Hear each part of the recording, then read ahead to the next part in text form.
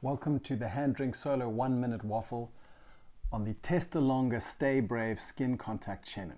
Now, Chenin Blanc is the number one grown and harvested grape in South Africa. Over 17.5% of all grapes grown in South Africa are Chenin Blanc.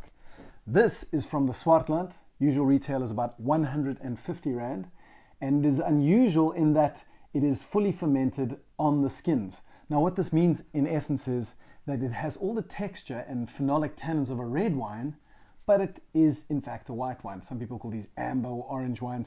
This is a very gentle example of that because they can be crazy, but it is absolutely beautiful. So a, a white wine is almost always crushed or squeezed so that the juice runs off and then the juice is fermented and the skins are removed. Obviously this happens where the skins stay together.